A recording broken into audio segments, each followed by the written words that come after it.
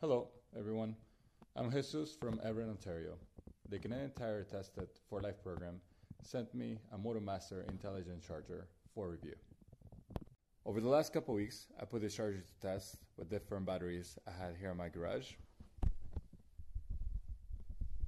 Some of them were good, some of them were bad, but for the ones that were good, the battery charger did a good job charging them and bringing them back to life. It was a nice feature that you could set it up to charge and the charger will stop once it was ready. It's another nice feature the way the charger is set up because it comes with the straps and then you can pack it, pack it away. It's also very light and you can take it anywhere you need to. Another added feature is that for automatic chargers, there's always fault codes. It comes right on the battery charger so you're able to see what's wrong and what error you're getting when you're charging the battery instead of always having to go back to the manual.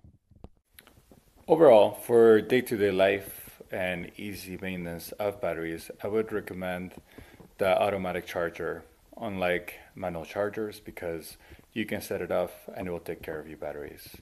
Unlike manual chargers, though, you can't use it to force charge a battery. So if it's really dead, it will give you fault codes and you will have a trouble to get it to charge again. So for the purpose of automatic charging, yes, I would recommend it to family and friends.